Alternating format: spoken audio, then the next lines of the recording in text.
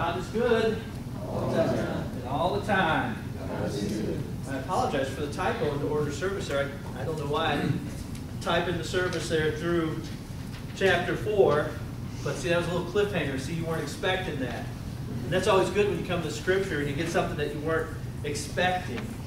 Today's passage of Scripture, I think, is pretty timely because we kind of live in a day and age where people shy away from taking responsibility for their actions. We live in a day and age in a culture where people resist facing consequences. I want to act how I want to act, live how I want to live, and I don't want to have to face any consequences for my personal choices. We have people with disposable relationships. I mean, I, I just had someone unfriend me on Facebook last week. It was kind of tough. All right, it was, it was hard. But people unfriend us on Facebook, right? Uh, people abandon children that they don't want anymore. There are people with callous hearts. Promises that are broken, that becomes the norm. And we, we live in a culture where people don't have any problem taking care of number one. And James focuses on this. It, it's almost as if the Bible were written yesterday. Bruce was teasing with me this morning. He passed me a couple books, and he held up the Bible. He goes, Do you know this book? It's new. Well, it's almost as if it's new. Although it's written thousands of years ago, it's like James was addressing our culture today. If you haven't opened your Bible or pulled up your Bible app on your phone or however you want to look at the Word of God, look at James chapter 3.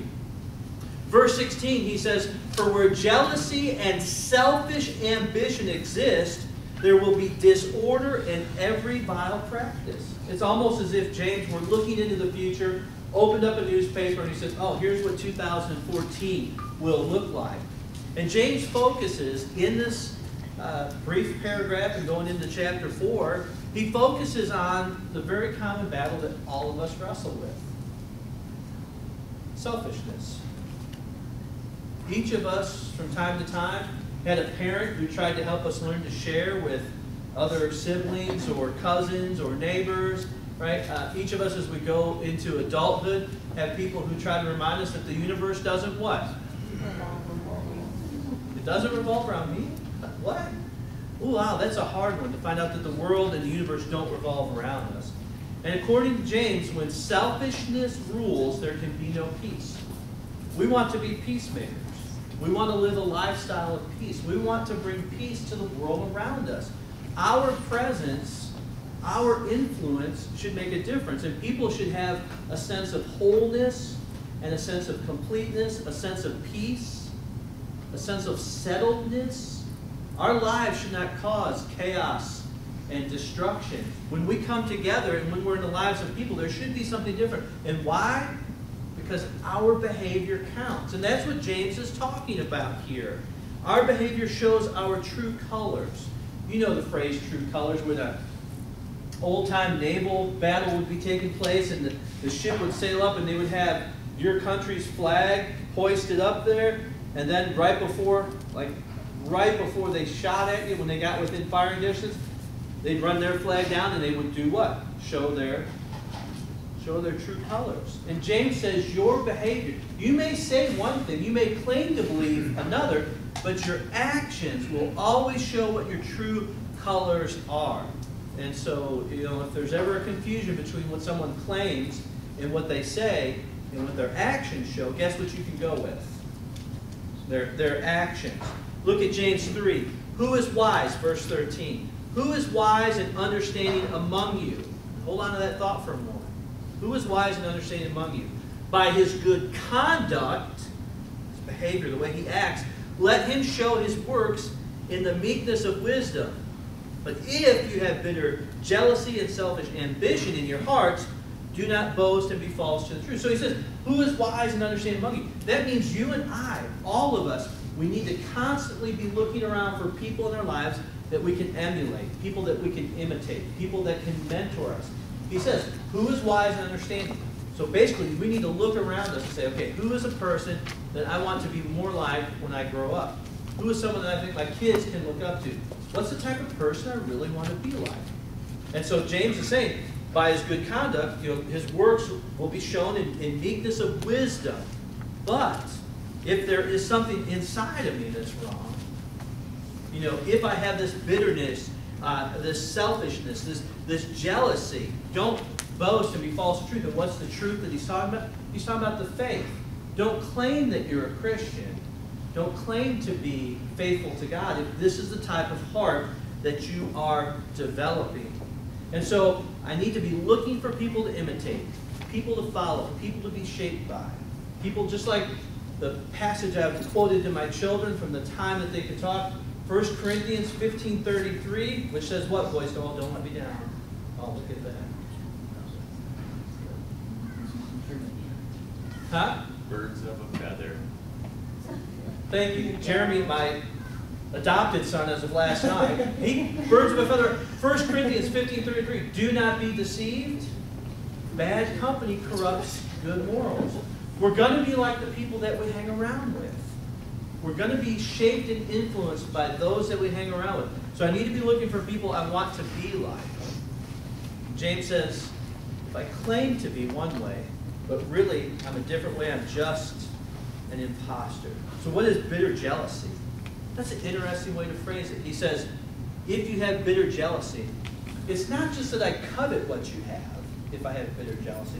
Maybe you have a possession, or maybe uh, you have a relationship. Maybe there's something within your life that you have. It's not just that I covet it, but I'm upset with you because you have something that I don't have. I can't celebrate for you. Man, I'm so happy that you achieved that, that you received that, that you got there. Boy, I celebrate that with you. And one day, maybe, you know, I'll get there too. No, that's not what bitterness says. Bitterness says, I hate you for having that. That's not fair. Why should you have those blessings and not me? And so I'm angry with them for having what they have. And then I also enter into competition with them. James says that's not a healthy place to be, to be in competition with others. Funny thing is, they don't even know. So, what is this selfish ambition? We know bitter jealousy. What is selfish ambition? That's where I'm going to gouge and climb and step on and do whatever I have to do, no matter what the cost, to make sure that I succeed. I'm going to get to the top. I'm going to succeed. I'll use treachery, I'll use deceit, and I'll be consumed with victory no matter what. And James says, if that's what you're about, that's not godly at all. That is not a godly lifestyle. Fact, he says that's demonic. Verses 15 through 17. That's not from above. That, he will say, is demonic. Wisdom from above, though, the type that we want to have, that's pure. That's peaceable. That's gentle. Here's a tough one open to reason. In other words, I can listen to the other side. I can sit down and be open to having my mind changed. It's full of mercy and good fruits. It's impartial and it's sincere. I don't know if you noticed in the paragraph, but the word wisdom is used at least four times. Now remember, when people were writing scripture, they didn't have a word processor. They didn't have um, Control X, right? So they couldn't cut it out, and they couldn't hit Control uh, C and paste it somewhere else. There was no cut, there was no paste. They had what? Probably, in James's case, probably either papyrus or possibly even an animal skin. He doesn't have a lot of room. He doesn't get to go back and redo it very many times because it's a tedious process. He doesn't have an abundance of material. So anytime an author of scripture uses a word that many times, that close together, that should catch our attention. I need to be a person of wisdom. And we already know that wisdom isn't just knowing the right answers. Wisdom isn't just knowing what the truth is. Wisdom is the ability to put into practice what is true. So when James goes to all that effort to use that word wise and to use that word wisdom, we need to be able to catch on to that. And say, that's got to make a difference in my life. I need to be a person who knows not just what the truth is, but a person who learns how to put it into practice. So bitterness, envy, jealousy, all this unhealthy stuff. What is the source of it? Which, by the way, those type of actions and attitudes and behaviors destroy community. So what is the source of that community destroying attitude? According to James, it's our narcissistic tendency to be selfish. Look at chapter 4. So he finishes off chapter 3, and of course there's no chapter breaks when he writes it, but he finishes the thought there in verse 18. A harvest of righteousness is sown in peace by those who make peace. And look at the very next sentence. What causes quarrels and what causes fights among you? And you say, well, is he talking about just in a church setting? Is he talking about with people at work? Is he talking about people with my family? He's talking about all of our relationships. What is it that causes quarrels and fights among people? And what is it? Is it not this, that your passions are at war within you? I have this desire within inside of me. And I maybe know what's right from wrong. And I maybe know what other people might find unfavorable. But this is warring within inside of me. And he says in verse 2, you desire and you do not have. So you murder. You covet and cannot obtain. So you fight and quarrel. You do not have because you do not ask. Oh, so, so I could just ask God, and God is going to fix this. Well, James says, You do not have because you do not ask, but, verse 3, you ask and do not receive because you ask wrongly to spend it on your passions. You adulterous people, do you not know that friendship with the world is enmity with God? That idea of fighting, that enmity, that idea of strife, the idea of disconnected. So when I want to be comfortable within the world, when I want to be drawn to the world, when the ways of the world become more appealing to me than my spiritual growth, than my spiritual foundation, than my relationships with people, than my ability to become more like God or to be closer to God, there's going to be problems. Because we live in two realms at once. Tammy and I went and saw Interstellar Thursday night. Loved it. Great movie. And so in Interstellar, the way that the theme is going to work, they're going to travel through a wormhole, all right? And they're going to come out into a different galaxy. And so, of course, the idea is that you could be in different places at once, right? And um, you could travel back and forth in time and all that great science fiction stuff. The reality for us, not science fiction at all, we live in two realms at once. I live in the world right now that has what? I, I can touch it. I can feel it. I can smell it. I can taste it like the burnt biscuits we had this morning, right? Uh, Adrian's not, yeah, they were burnt. Okay, I complained. I voiced a complaint. Uh, so you can smell, you can taste, you can hear, right? We can use all our five senses. I don't know if I covered them all or not. But we live in a realm of the five senses. But I also live in a realm, a spiritual realm, a supernatural realm that I can't see. According to the Apostle Paul, that there are angels and there are demons. We can't see them. There are principles, uh, dark forces that are battling against us. Scripture is filled with the idea that I live in two realms at once. I may be acting and breathing and fulfilling things within the material universe, but I also occupy a space in the heart of God, in the mind of God, that is based in spiritual realities. And so if I'm drawn more to one than the other, there's going to be strife. And James is going to say, I cannot be drawn to this world and grow in this world and still love and grow in my relationship with God. And that's hard. Paul offers a good perspective on this battle. Uh, 1 Timothy chapter 6. We brought nothing into this world. Guess what? We take nothing out of this world. He says, But if we have food and clothing, with these we will be content. Isn't it amazing how satisfying it is to enjoy good health? To spend time with family. Uh, to come in from doing yard work or a bike ride or whatever and just a cold glass of water. I mean, does that not just satisfy? Paul says, look, if you've got food and clothing, that is reason right there to be content. And you and I know that we live in a world where thousands of people die every day. Why? They don't have clean water. They don't have running water. They don't have electricity. They can't go to a faucet and turn it on. They don't have a refrigerator. They don't even have Tupperware. Paul says, hey, think about that, man. Paul says, look, if we have food and clothing, that's reason for contentment.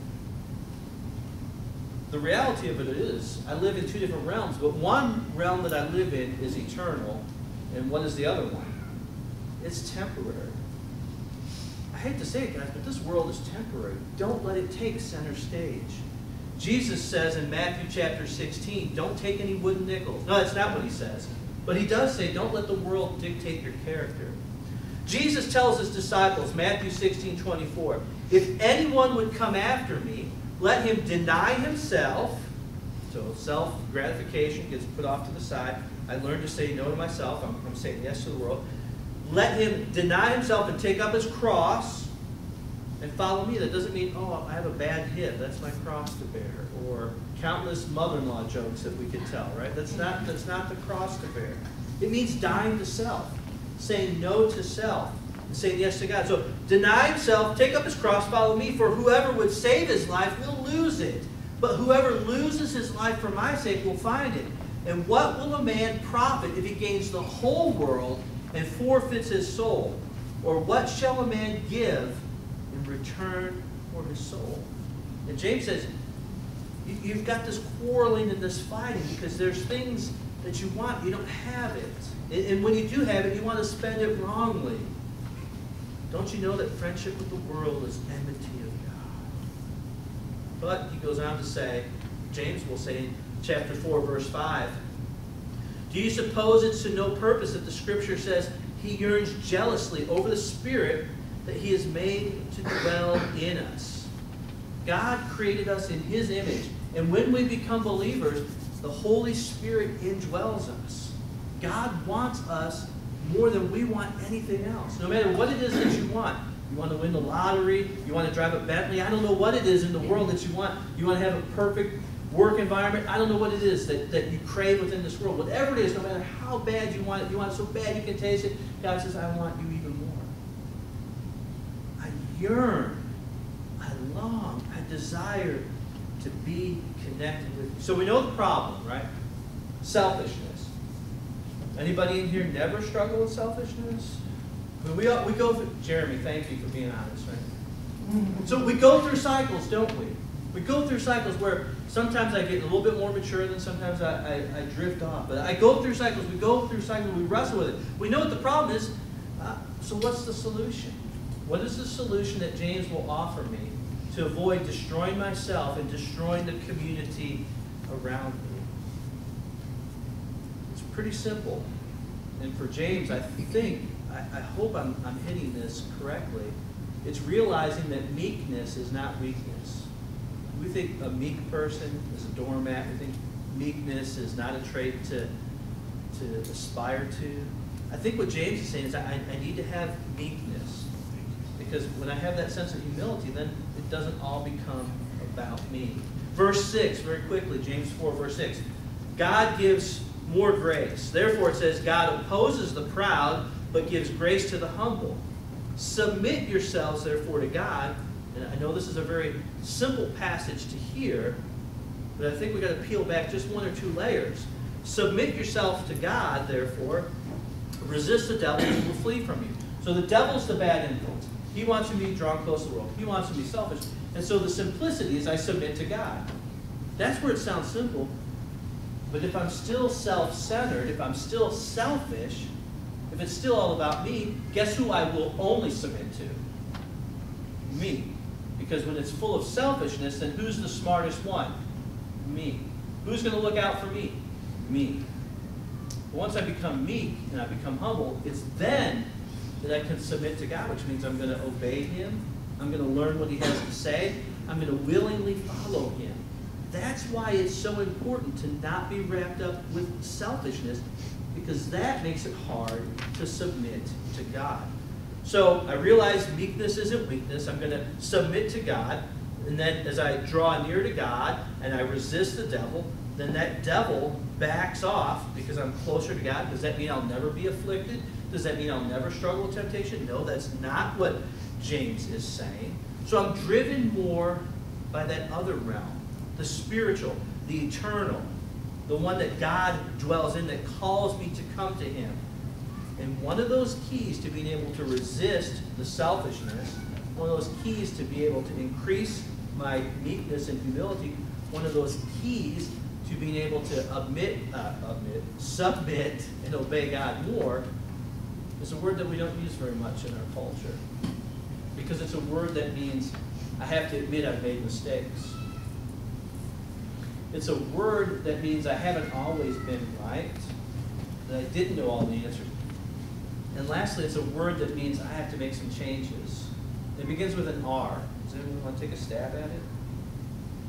Repentance. That's what James lays out here. He's shown the problem, the selfishness. He's shown how destructive it is. He shows how murderous we can become. He shows how distant we can become from God. He begins to give the solution. And then he says in verse 8, draw near to God. I love this because this really wasn't sounding like good news. You're murderous, you're adulterous people, you're hateful, you're slanderous, you're stabbing each other in the back. All this ugly stuff doesn't sound like good news, but, but there is good news in this passage. Because the promise is, even for these sinful believers who have kind of not been imitating God very well, draw near to God, verse 8 says, and he will draw near to you. Cleanse your hands, you sinners. Purify your hearts, you double minded.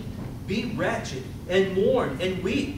He's talking about repentance here. Let your laughter be turned into mourning. Does that mean God doesn't want us to be joyous? No. What are they laughing about? The fact that they've been stabbing each other in the back and climbing their way to the top.